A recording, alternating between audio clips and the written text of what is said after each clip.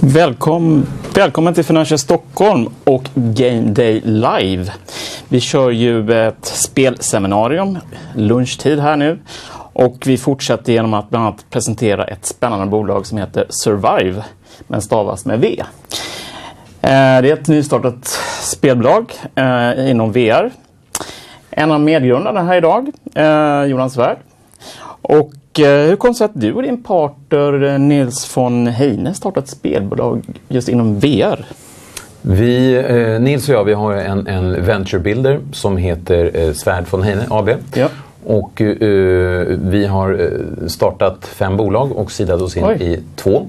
Eh, och tidigare i år, i början på året, så satt vi och funderade vilken bransch skulle vi vilja gå in i? Mm. Vilken bransch tycker vi är helt intressant och skulle vi verkligen vilja vara aktiva inom?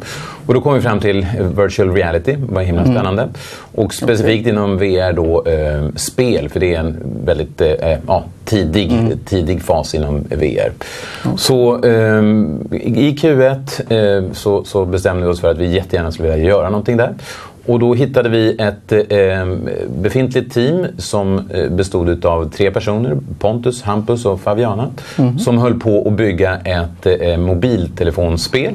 Och eh, med gemensam eh, eh, med gemensam kraft så bestämde vi oss för att eh, vi skulle köra en, en eh, VR-spelutvecklarlåda tillsammans. Okay. Och vi, ja, vi bolagiserade eh, i, i maj och, mm. och, och, började då utveckla en prototyp. Och, och ja, på den vägen är det. Trots att ni bara funnits sedan i maj har ni redan tagit in 15 miljoner. Bland annat från äh, familjen Lundin, äh, Black in Black Capital. Hur, hur gick ni tillväga där? Ehm, ja, eh, för det första så är det inte riktigt eh, familjen Lundin, men familjen Lundin är eh, del i den okay. här mm. internationella mm. VC-aktören Back in Black. Mm. Ehm, vi gjorde som så att vi, vi började då med att ta fram en prototyp mm. och bolagisera och så att säga komplettera upp bolaget med inte bara en begynnande produkt utan också allting som är runt omkring. Allting i form av eh, marknadsföringskanaler, eh, bolagsbyggarkompetens mm. etc, etc. Så vi var ett relativt stort team för, eh, för att vara i som tidig fas. Så vi var då fem personer. Och en månad efter att vi hade bolagiserat så träffade vi Per Brilliot och Björn von Sivers eh, och, och eh, eh, ja, de tyckte väl att vi var bra, att det var en spännande och intressant bransch att befinna sig i. Och mm. Jag tror också att de gillade mycket det här att vi bygger inte bara spel utan vi bygger bolag. Mm. Så ja, hela, hela den approachen tror jag att de tyckte var positiv. Okay. Så vi var ju supernöjda naturligtvis med att få in så pass mycket pengar så snart. Och ja, vi är väldigt tacksamma för att mm. de valde att investera i oss förstås. Ni har ju även fått in ett riktigt intressant advisory board med bland annat ett riktigt eh, intressant gäng som Jenny Nordenberg, bland annat grundare av Nest Corporation och vi spelat Budget Cuts. Mm. Och Spotifys eh, juridiska rådgivare Sofia Shepard. Mm. Bland annat. Eh, och sen har ni även eh, Rickard Steiber, investerare och chef för jätten HTC VR-satsningar. Och det är ju jättespännande för HTC är väl, de är väl väldigt intresserade att eh, få vara med på sin plattform eh, Eh, så att säga med VR.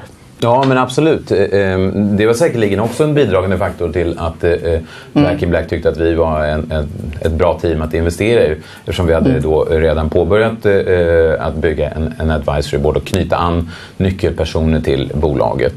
Och utöver då Richard Steiber, som, som, precis som du säger, som, som är eh, eh, senior vice president på, på eh, Viveport och mm. virtual reality på HTC. så, så, så Sofia Shepard då, som en utav ja, kallar det chefsjuristerna på Spotify, även om hon inte är GC.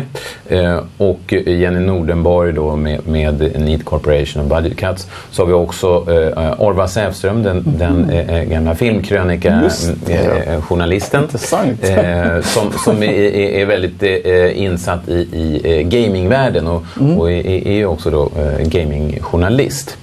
Eh, utöver det så har vi också eh, eh, Thomas Björkman mm. som, som är en, en eh, ska vi kalla det, en, en finansguru. Mm. Eh, och ja, hur knöt vi dem an till oss? Ja, vi har personliga anknytningar i alla fallen. Så, så vi känner de här personerna sedan tidigare, okay. mer eller mindre. Mm. Och ja, de tyckte väl att det var intressant att få vara med på det här den här resan. och, och, och, och eh, vi har haft ett eh, advisory board-möte eh, och jag ska tillägga också att vi har Jana Palm med i, i vår advisory board också. Hon, okay. hon, hon, är eh, en av medgrundarna till Stugan och dessutom så jobbar hon med Stings acceleratorprogram mm. för, mm. för ja, spelbolag. Just det. Så, Spännande. Så, eh, jo, så vi har haft ett, ett eh, eh, advisory board-möte och eh, fick väldigt mycket bra feedback ifrån från eh, våra advisory board. Och, och eh, vi tycker att de, de tillför verkligen också, mm. Eh, det är inte bara att de är namn på papper utan mm. de tillför verkligen någonting till bolaget. Så vi är väldigt tacksamma för att de väljer att ställa upp och, och, och, och supporta oss. Okay. för jag tänker lite grann på det du nämnde innan här, just det vad det egentligen anledningen var att uh, Black in Black Capital gick in och investerade. Hur, vad är deras strategi med sin investering? Alltså det är ju en ganska stor risk att investera i ett spelbolag. Det kan ju både gå upp och det kan gå ner. Uh, mm. vad, vad tror du var deras motiv? Ja, men som, som jag var inne på tidigare, alltså dels naturligtvis en, en väldigt het bransch. Mm. VR är ju väldigt många aktörer som satsar på. I princip alla de stora jättarna har ju någon form av eh, eh del i, i VR-branschen. Mm. Microsoft kom ju häromdagen med, med, med sin nyhet. Eh, och, och eh, den enda som fattas är väl egentligen Apple och det, mm. det, diskuteras ju en del om hur och när de kommer att mm. Eh, komma in i, i, den här branschen också. Eh, men så, så VR absolut en, mm. en väldigt bidragande faktor. En annan att vi hade en, en, en prototyp att, att visa ja, okay. de här investerarna. Vi, vi, vi, satte på dem det här headsetet och, och, gav dem handkontrollerna och så fick de köra helt mm. enkelt. Och, och, det var väl så att de blev eh, wowade, eh, mm. kan man väl anta.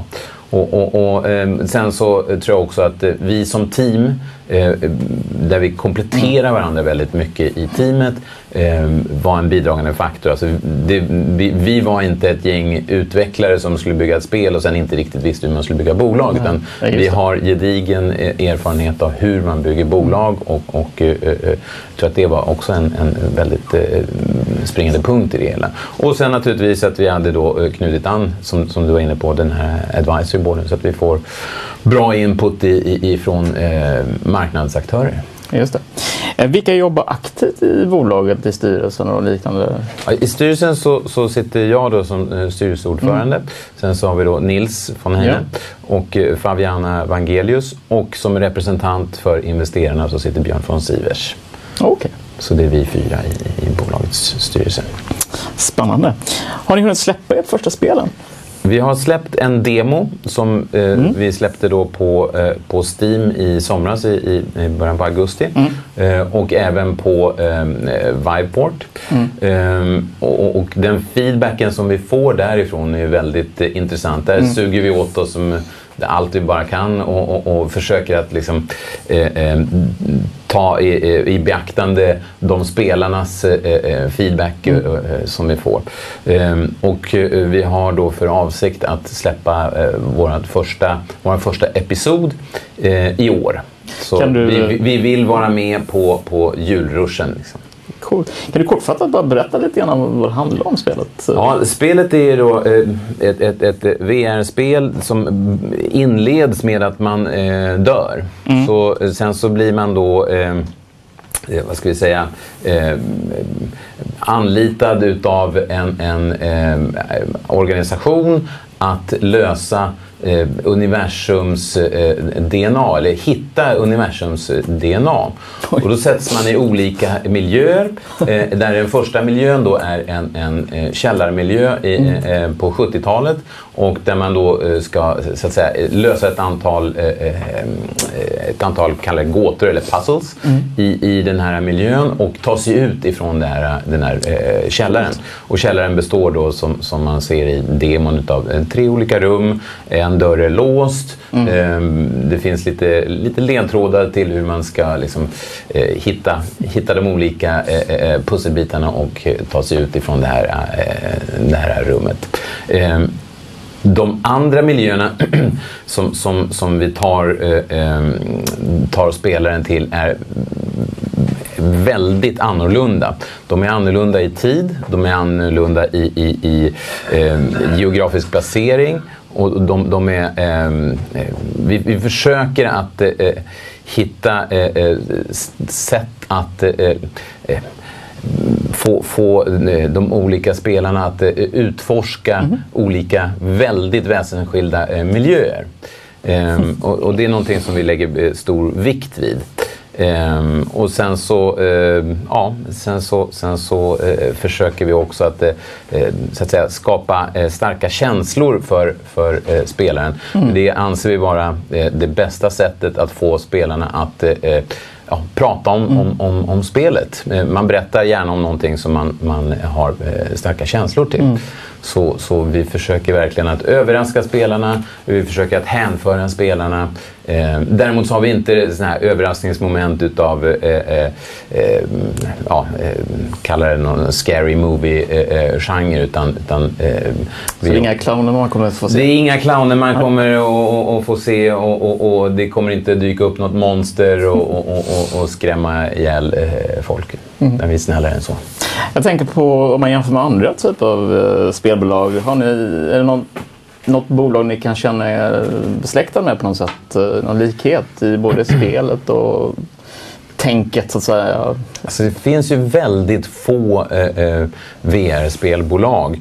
Mm. Um, det finns en handfull i, i Sverige och, och, och eh, eftersom VR-marknaden är så i sin linda så är mm. det egentligen ingen, inget annat bolag som man kan titta på och liksom bli influerad utav. Eh, eh, utan, utan vi försöker att göra våran grej eh, så gott vi kan mm. och, och, förhoppningsvis så lyckas vi väl med det. Mm. Eh, men det, det, får vi också se. Proof is in the pudding. Mm. Så, så vi, vi, eh, vi, vi, vi ser spänt an mot framtiden och, och, och vad vi eh, var vi kommer att hamna någonstans. Så vi försöker både att, eh, ska vi kalla det, eh, vara med och driva marknaden eh, men vi är också extremt mm. lyhörda för vart marknaden tar vägen.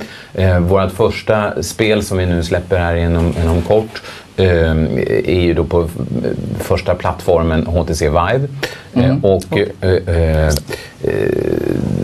det finns ju andra plattformar också. Men HTC Vive har varit den som vi började med i, i, i maj. Därför att den var den, den som ja, stod, mm. stod ut som den bästa spelupplevelsen. Och, och, vi är väl medvetna om att det inte finns särskilt många eh, sålda headsets ute i, mm. i världen. Eh, men vi börjar att köra en form av top-down eh, approach där vi så att säga, börjar med det som är bäst. Eh, och sen så får vi väl se vart marknaden tar vägen. Mm. Eh, Playstation eh, VR har ju kommit mm. och, och Microsoft är, är, på väg nästa år. vi får helt enkelt se vem, vem av hårdvaruplattformarna är det som kommer att vinna. Och det, det det ska bli himla intressant att följa den utvecklingen. Mm. Starbreeze som är ett eh, spelbolag som man faktiskt kan handla på börsen på eh, First North. De har ju tagit fram egna headset nu, eh, Star VR, och har inlett ett samarbete bland annat med IMAX. Nu vänder de sig då inte till privatpersoner utan de vänder sig till företag med sina VR-glasögon och att de ska helt enkelt börja sända i de här studios. Är det, är det någonting som ni också skulle vilja komma in i sen, att hamna i sådana här sammanhang som i Max Studio, att få testa spelen där, att de blir på det sättet? Eller det, det är inga tankar som ni har eh, med er? I, i, I, dagsläget så har vi vad, vad, man i spelbranschen brukar kalla crunch time. Det vill säga okay. vi jobbar eh, runt eh, around the clock. Mm. Så, så eh, för att få, få klart vår eh, första episod och vårt första spel.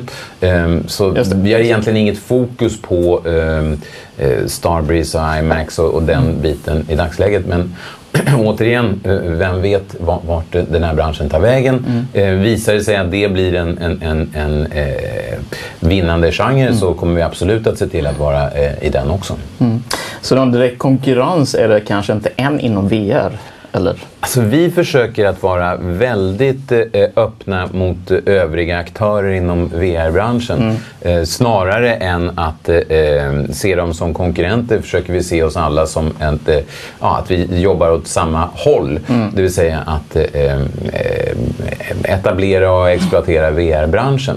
Så, så vi försöker vara så, så öppna och, och, och Eh, ja, eh, tillmötesgående mot, mot övriga VR-aktörer. Mm.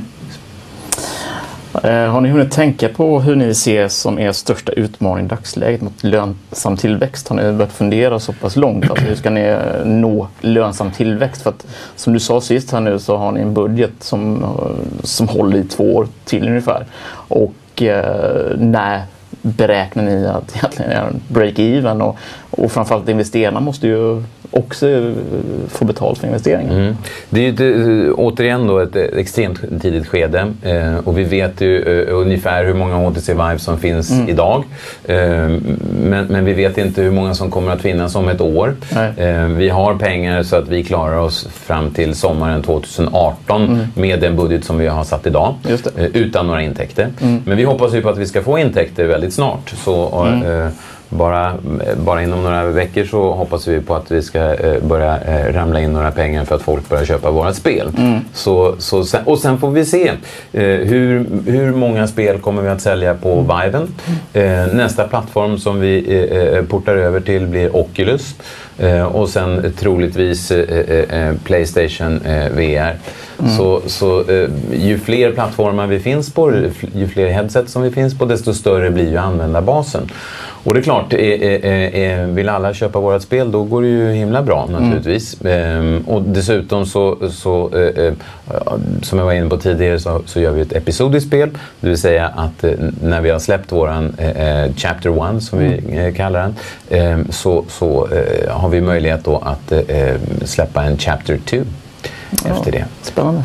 När ni nu har gjort detta, har ni funderingar på att gå ut på börsen? Jag tror många aktiesparare skulle vara väldigt intresserade av att få möjlighet ja. att handla i ett spännande bolag. Ja, äh, vi, vi äh, är ju väldigt mycket i vår linda. Mm. Vi har funnits i knappt ett halvår mm. och vi försöker att verkligen inte fokusera mm. på exit-strategier och, och, och, börsnoteringar eller, listningar på no, någon handelsplats. Utan vi kör så det ryker med det vi har idag och, och, och det förs överhuvudtaget inte och har inte förts någon sådan eh, intern eh, dialog eh, huruvida vi, vi ska börsnoteras eller, eller eh, göra någon form av exit eh, längre fram. Utan vi bygger ett bolag mm. och fokuserar på det eh, till 110 procent. Många av de här spelbolagen som har gått väldigt bra, vi kan ju ta Starbreeze som ett lätt exempel, mm. de listade sig ganska tidigt och fick med en väldigt stor fanklubb. Mm. Samtidigt som eh, de gick ut på börsen. Nu var detta i sig på Aktietorget, eh, oreglerad marknad och de är First North också som är en oreglerad marknad. Eh, kan inte det vara ett intressant sätt att få in lite eh, Alltså folk som gärna följer också utifrån det perspektivet. Mm. Alltså, vi, vi agerar ju på en global marknad. Eh, Sverige är ju som vi vet ett väldigt litet land mm. i, uppe i, i norra Europa. Och, och, det är klart att det är alltid intressant om man har en aktiv fanbase som både kan vara mm. delägare i bolaget via äh, aktier och mm. även, även då, äh, kunder i form av att de äh, köper och spelar spelet. Men ehm, som sagt var, det är ju ändå en, en väldigt liten del utav den globala totala branschen. okay. Det är knappast så att eh, några, några kineser skulle följa, eh, följa utvecklingen på First North, eh, kan man gissa. Kan, då får ni lista i New York i så fall. helt Precis, enkelt. ja. det, Vi får se. det. Vi får se. Eh, men ni har andra planer, hörde jag. Du nämnde innan också. Ja, Eh, alltså vi, vi eh, har eh, eh, stött på ett eh, utvecklarteam Ja. som eh, håller på eh, och utvecklar eh, ett spel inom eh, eh, VR. Mm. Eh, de utvecklar det mot, eh, första steg mot eh, Oculus. Mm. Eh, och eh, vi har eh, tillsammans då med dem bestämt oss för att, eh, Survive AB Mm. och eh, eh, det här utvecklarteamet ska starta ett bolag tillsammans. Eh, Så Wow. vi gör en joint venture med dem och, och kommer att heta Logtown Studios. Alltså Logtown är ett litet spel på Stockholm. Eh, och, och, och, det blir då också inom VR. Eh, Det blir inte ett episodiskt spel utan det blir en, ett eh, superhjältespel. Det. Ehm, och eh, arbetsnamn för, för eh, spelet är Electric i dagsläget. Och det blir då en, en eh, superhjälte som, som eh, har elektriska eh, eh, krafter. Kan förvandla sig själv till elektricitet. Kan eh, ja, eh, på, på många olika sätt använda elektriciteten Ja. som, ett, som en form av vapen. Men det är inte en, en, en, form av eh, döda så många du kan eh, spel utan det är mera i, inom stealth-kategorin. Det vill säga att eh, man ska försöka använda de här eh, superkrafterna på ett så finurligt sätt som möjligt för att klara sig igenom de olika miljöer som, som spelaren sätts i. Och eh, nämnvärt är också att superhjälten i fråga inte är en man utan är en, en kvinnlig eh, eh, karaktär. Det är ju positivt. För det är men väl lite mansdominerad bransch om man Det säger är så. absolut en extremt eh, mansdominerad Ja. bransch. Eh, Samtidigt om man tittar på vår advisory board så, så, så har vi ju tre stycken tjejer Oj. och tre killar. Och och, och eh, våran VD är en, en tjej, Fabiana Vangelius. Mm. Så, så ehm, ja, vi försöker dra vårat lilla strå till stacken och, och, och för, för eh, Ja, det är väl för positivt för att det har ju varit väldigt mansdominerat med eh, spel. ja. Eh, och de flesta spelutvecklare är väl killar helt enkelt. Men att det nu Ja, växer fram en skara tjejer är ju jättespännande. Ja. Vad tror du? Eh, alltså, det finns ju en hel del skolor i Sverige. Mm. Eh, bland annat i Karlstad tror jag finns en, en skola. Och, Det finns ju en i Stockholm som är väldigt Stockholm tongivande, också. Future Games. Okej. Som är, är, är, ligger väldigt eh, högt upp i anseende. Eh, och, och bland annat då i vårt eh, nya eh, venture med Longtown Studios har vi väldigt många av de, de fyra medgrundarna där eh, har en bakgrund ifrån eh, Future Games. Och även, eh, även eh, eh, i den advisory boarden som vi håller på och tillsätter i, i Longtown Studios eh, eh, har vi också eh, eh, en av utbildningscheferna i, på Future Games är, är med i vår advisory board. där. Så, Hur ser det procentuellt ut i ett företag när det gäller kvotering? Ja, vi har vi, har, vi, har ingen, vi har ingen uttalad kvoteringsstrategi utan det är snarare så att det har, det har blivit så, så som det är många är. tjejer helt enkelt? Alltså vi, vi, är, vi är 12 anställda och eh, av de 12 så är det två tjejer. Ja, Okej. Och det är då eh, Fabiana som VD och så är det Erika som är CMO, alltså ansvarig för vår marknadsföring. Jag tänkte på det att om det blir fler tjejer som gör spel, tror du de spelen kommer skilja sig från killars spel, om man nu får säga så? Eller att det, det finns en skillnad på innehåll, idéer. Har ni märkt någon sån skillnad eller är det Eh, samma det, det är möjligt eh, eh, att, att det är en, en, en, kallar en positiv utveckling eh, utav att man har eh, tjejer med Mm. Ja. i liksom, ska jag kalla det, ledande befattningar. Eh, ja, kan- jag, jag vill nog ho- hoppas och, och tro att det, att det är på det viset. Att trenden kanske att det blir en liten förändring just när det gäller spelupplevelser Ja, kanske. och så vidare. För att det är ju väl, om man nu tänker sig spel, spelgaming och liknande, det är ju väldigt våldsamt oftast de här spelen. Ja, många är ju det. Eh, Det kan jag tänka mig att det beror till, till stor del att det kanske var en kille som utvecklar och är intresserad. Ja, Men jag ja, vet det- inte, jag kan ha fel. Ja, jag är, jag är ingen branschexpert Nej. heller. eh, Så, så, eh, men, men visst, det finns ju många våldsspel och, och eh, man kan väl säga att eh, eh, eh, en, en sån superhero som i, i Longtime mm. Studios är ju är, är också en, en form av våldsutövare. Men, men vi försöker att ta, liksom, ta udden av det. Det handlar alltså inte om att liksom, döda så många människor Nej. som möjligt. Utan det gäller att ta sig igenom olika eh, situationer och miljöer på ett klurigt och, och, och fiffigt sätt. Mm.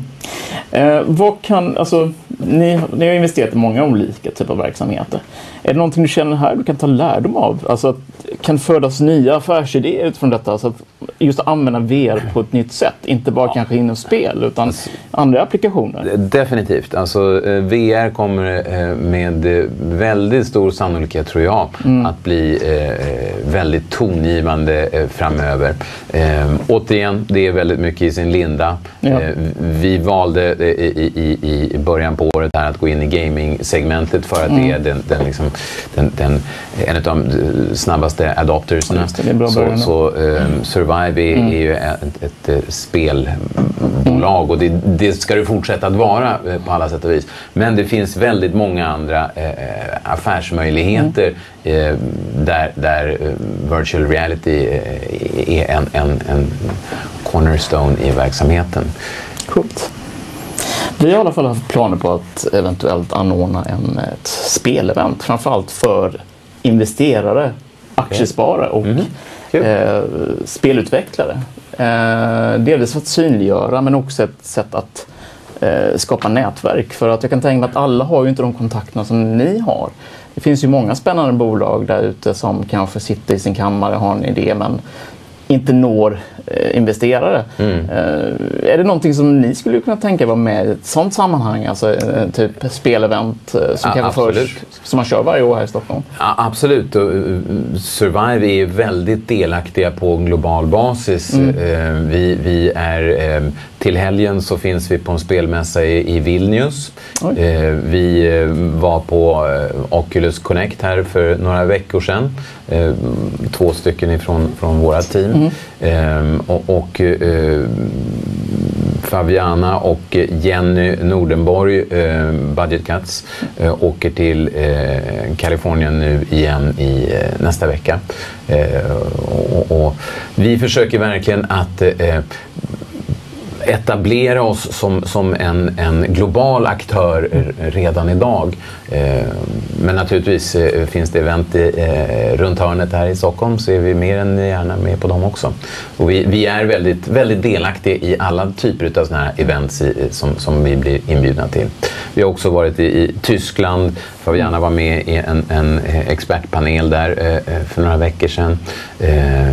Ja, vi kommer att finnas eh, på Sime här om, om några veckor. Eh, Fabiana återigen. Eh, och eh, ja, vi försöker helt enkelt bygga en, en, en, en ett nätverk och närvaro i, i, inom eh, den globala VR-scenen. Mm. Man kan väl säga så här att spelbranschen har ju blivit jättehett internationellt och framförallt den svenska spelbranschen. Mm. I och med eh, Minecraft så har många investerare, bland annat i USA, varit väldigt intresserade av just Sverige. Eh, och framförallt Stockholm. Här finns ju väldigt många techbolag men också väldigt mycket spelbolag. Eh, vad tror ni om det? Så att säga, är det bra att vara här i Stockholm och utveckla spel? Jag tror att det är jättebra att vara i Stockholm och utveckla spel. Eh, bland annat så finns det eh, kompetenser. Mm. Eh, det finns nätverk. Det finns andra aktörer som, som man kan göra saker tillsammans mm. med. olika event som du var inne på. sätt att synas mm. på. Och, och, och eh, dessutom så är ju den, den kvalificerade arbetskraften här väldigt mycket billigare än vad den är i Silicon Valley. Okay, ja. Så det, man kan säga att det är billigare att driva bolag i, i Stockholm mm. än, än i, i, Silicon Valley. Så investerarna får en rabatt kan man säga? De får en hem, hemskt stor rabatt om de investerar i oss. Ja, det är jättebra. Jag tänkte på det här med om det nu är så att, eh, eller vi planerar det här eventet mm. Här framöver, eh, speleventet. Vilket spelbolag skulle du vilja träffa i så fall? Har du någon favorit Ja, alltså det vore väl kul att träffa Marcus Persson till exempel. Ja. Förstås. Eh, Eh, annars så, någonting som jag tycker skulle vara intressant, eh, eh, eh det vore någon asiatisk aktör. Just det, ja. Mm. Kina är ju en fantastisk marknad eh, i, i, sin storhet och sin, sin föränderlighet. Mm. Eh, och, och, dessutom relativt svår att få en inblick i. Mm. Så det skulle jag personligen tycka var väldigt spännande att, att få träffa någon, någon aktör därifrån. Eh, så hittar du några sådana så eh, träffar vi dem gärna. Ja, vi ska besöka. Ja. Eh, vi har fått en fråga här från eh, Nisse Hult. Eh, vad behöver man för utrustning för att spela era spel? Ja, det, den, den, demon som vi har idag på, på, mm. på Steam, där behöver man då en speldator och man behöver eh, HTC Vives headset. Okay. Eh, dessutom så, så behöver man ett par hörlurar. Eh, så, så det går ut på att man har en speldator, man har ett headset, mm. man har hörlurarna och sen så har man handkontrollerna. Och sen så är man helt inne i den här världen som vi då förmedlar till spelaren. Coolt. Ja, det låter ju uppenbarligen väldigt intressant och spännande. Eh, du får provspela spelet. Absolut. Jag kommer komma förbi ett kontor snart och provspela. Och Gärna som sagt, eh, du är välkommen. Tack så jättemycket för en fantastiskt bra presentation och genomgång. Och lycka till med Survive Studio. Tack så mycket. Tack för att vi fick vara här. Ja, tack.